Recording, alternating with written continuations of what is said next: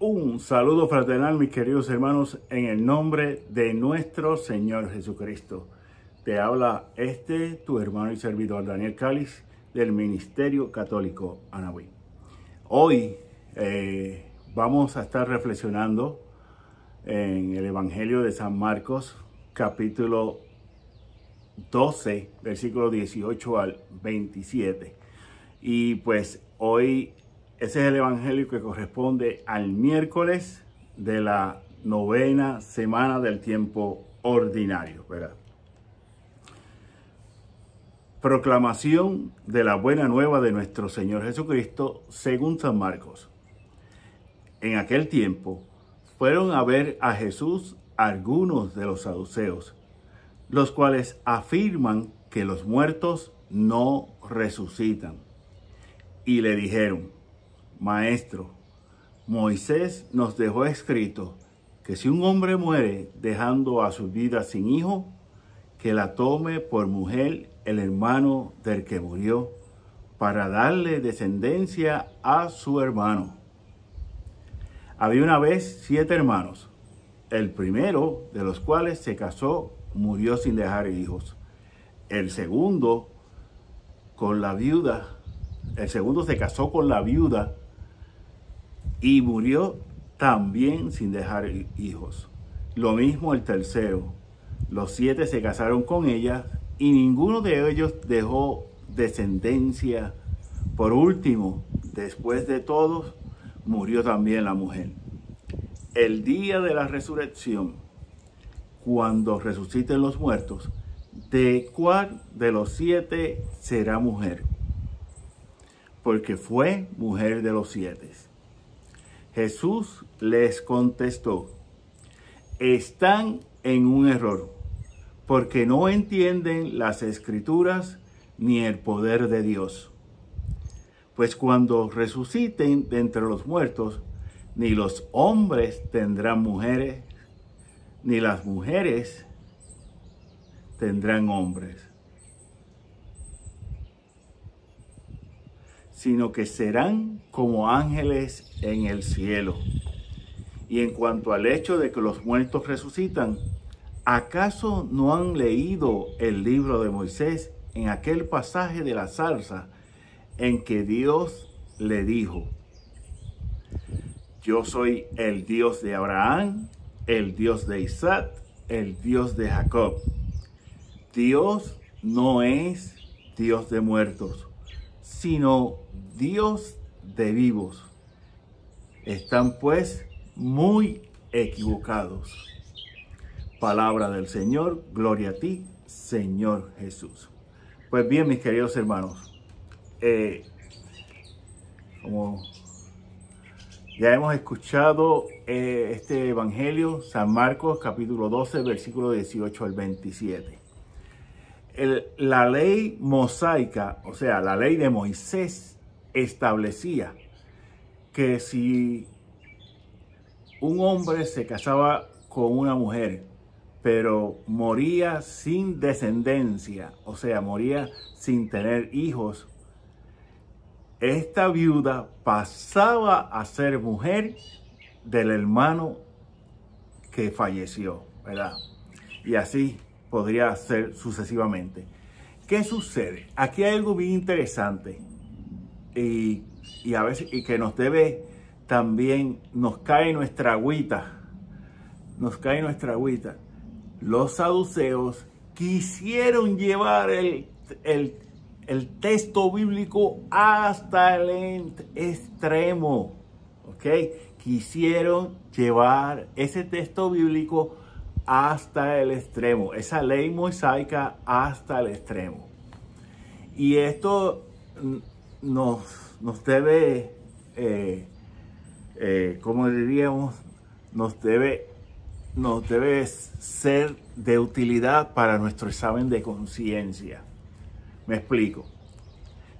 La iglesia recomienda que todas las noches hagamos un examen de conciencia. Eso es bien importante, ¿verdad? Que hagamos un examen de conciencia. Bien, ¿Qué sucede? Que muchas veces nosotros los católicos también queremos llevarla al extremo, eh, muchas veces sobrehumano, más allá de lo humano, o muchas veces eh, casi como una dictadura, podríamos decir, ¿verdad? De la religión. Muchos cristianos suelen querer llevar o suelen que se suelen convertirse en dictadores de la religión. Y eso es bien importante tener en cuenta, mis queridos hermanos, ¿verdad? Porque tenemos que recordar y nunca se nos debe olvidar que el cristianismo es la religión del amor, ¿ok? El cristianismo es la religión del amor. Eso es bien importante. Entonces, ¿cómo se, se traduce ese amor? En lo que se llama la caridad fraterna, la caridad con los hermanos, ¿verdad? Demostrando, la caridad es el amor hecho acción. Y entonces bien importante que nuestra religión. Porque es una religión, la religión cristiana, ¿verdad? Este, tenemos que tener en cuenta de que, primero, eh, como dice eh, mi hermano Fran Morera, la teología cristiana es la teología del sentido común. O sea, ¿por qué digo esto? Porque muchas veces no entendemos las cosas porque queremos complicarlo todo. ¿Ok? Y, yo le, dicho sea de paso, yo soy teólogo, pero yo no puedo eh, complicar la teología. No es, mi no es mi vocación, no es mi llamado, no es mi misión. Al contrario, yo tengo que hacer la teología más fácil para, para los hermanos. Y eso es bien importante para los que somos teólogos, para los que somos predicadores, inclusive para los catequistas, ¿verdad? Bien importante de que tenemos que muchas veces simplificar hasta el máximo eh, lo que enseña la iglesia. Claro está, sin desvirtuarnos, sin salirnos de lo que verdaderamente enseña la iglesia. Y por eso es de suma importancia, mis queridos hermanos, por eso es de suma importancia la formación permanente en la fe cristiana. ¿Ok? Conocer lo que enseña la iglesia. Para no llegar a estos extremos que nos mostró, ¿verdad? Que podemos escuchar de, en este evangelio, como los saduceos. ¿Ok?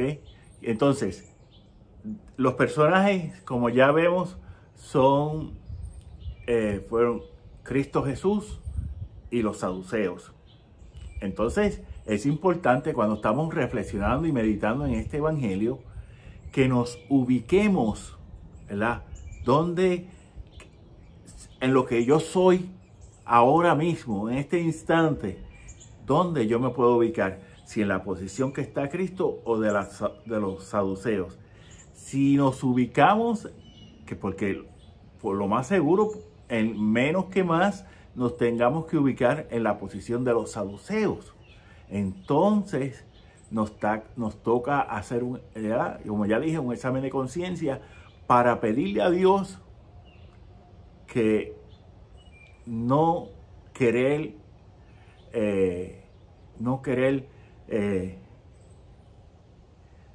hacer menos entendible la religión. En contrario, tenemos que hacerla más entendible y esto implica que, que tengamos que usar un lenguaje, muchas veces un lenguaje sencillo.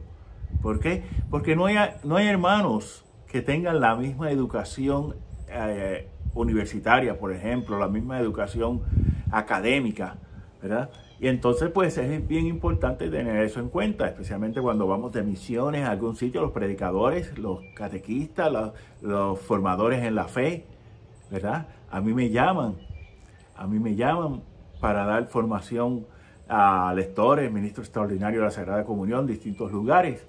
Y entonces yo tengo que eh, de antemano ya saber, preguntar cuál es el nivel que están esos hermanos donde voy a ir a enseñar o donde voy a ir a predicar, los jóvenes, cómo están formados, ¿verdad? Todo eso yo, uno lo tiene que tener en cuenta.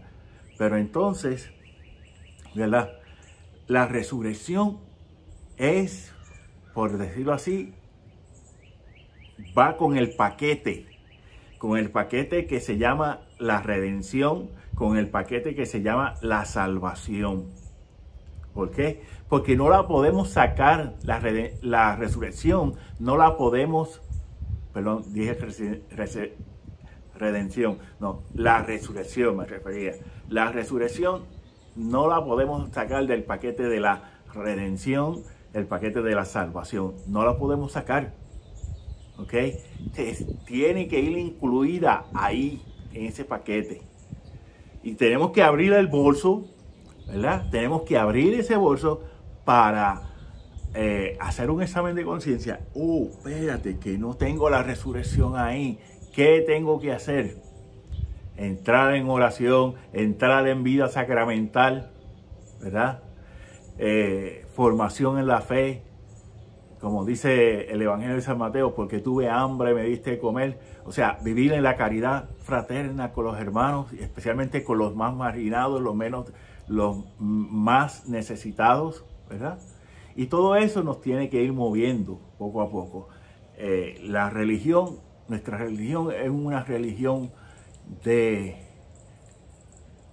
de disciplina, pero a la misma vez es una religión del amor, de la caridad fraterna, mis queridos hermanos.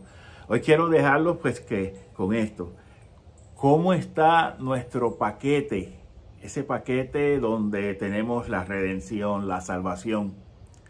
Y tenemos que abrir esa bolsa, ¿verdad? Ese bolso, tenemos que abrirlo para voy a voy entonces a verificar qué me falta. Y puede que nos falten varias cosas. Ok, vamos para la tienda, vamos, eh, ok, me falta eh, oración, me falta vida sacramental, me falta eh, disciplina, vamos a buscar este, la dirección espiritual, etcétera. Me falta formación en la fe, voy a buscar. Hay los medios, siempre hay, están los medios. Y pues yo he tratado siempre de estar reeducándome en la fe. Yo siempre digo, le digo a la gente en mi parroquia, a los clases prebautismales o donde quiera, que los católicos hoy en día, los, me refiero a los adultos, o sea, los de, los de mi generación, los, los que le siguen, etcétera, nos tenemos que reeducar en la fe. Porque muchos de nosotros aprendimos un catecismo de preguntas y respuestas está muy bien, nos dio una fe sólida, pero no nos dio eh, momentos para reflexionar, para pensar. Y ahora tenemos que entrar en, ese, en esa área que nos falta, en, poder entender la religión, pero utilizando la razón, utilizando y pidiendo al Espíritu Santo también, ¿ok? Porque esto es a Dios rogando y con el mazo dando, ¿ok? Ah, tenemos que orar, claro que sí, pero hay que trabajar, como dice la, expresión de San Benito, el fundador de los, de los benedictinos, ora et labora, oración y trabajo, mis queridos hermanos, ¿verdad?